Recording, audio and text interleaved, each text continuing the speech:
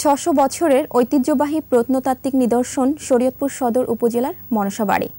একই এলাকায় রয়েছে দুশো বছরের পুরনো দুশো ফুট উঁচু মঠ। সময়ের বিবর্তনে প্রাচীন স্থাপনাগুলো এখন জরাজীর্ণ অবস্থায়। তবে সংস্কারের উদ্যোগ নেওয়ার কথা জানিয়েছে প্রশাসন। শরীয়তপুর প্রতিনিধি আবুল বাসার রিপোর্ট জানাচ্ছেন সমর ইসলাম। জেলা সদর থেকে এক কিলোমিটার দক্ষিণে ধানুকা গ্রামে ছয়শো বছরের পুরনো ময়ূর ভট্টের বাড়ি, মনসা বাড়ি নামেই, যার সমাধিক পরিচিতি। এখানে রয়েছে দুর্গা মন্দির, মনসা মন্দির, কালী মন্দির, নহবতখানা ও একটি সংস্কৃত টুলঘর বা শিক্ষা প্রতিষ্ঠান।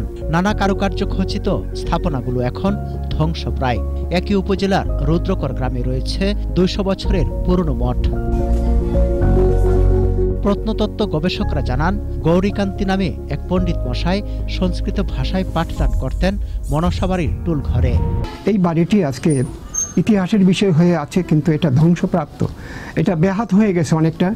এই ধ্বংসপ্রাপ্ত ইমারতগুলিকে যদি মেরামত করা যেত এখানে অনেক লোক আসে তাহলে একটা ঐতিহাসিক বিষয় হয়ে যেত। প্রাচীন এই স্থাপনাগুলো সংস্কার করে সংরক্ষণের দাবি বর্তমান সত্ত্বাধিকারী ও নাগরিক সমাজের। আমাদের নিজস্ব অর্থায়নে সম্ভব নয় এটা। সরকার থেকে যদি কোনো পদক্ষেপ নেন তাহলে সেটা হয়তো সংরক্ষিত হইতে পারে। এই বাড়িটির সংস্কার করা হোক এবং এই সংস্কারের জন্য সরকার প্রয়োজনীয় উদ্যোগ গ্রহণ করুক।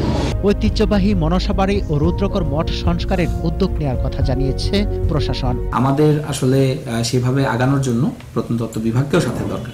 আর রুদ্রকর মঠের ব্যাপারে যে ধ্বংসপ্রাপ্ত হচ্ছে বা কিছু এটাই আশু ব্যবস্থা আমরা নেব। প্রশাসনের আশ্বাসের বাস্তবায়ন দেখতে চান এলাকাবাসী। সমর ইসলাম একুশে টেলিভিশন।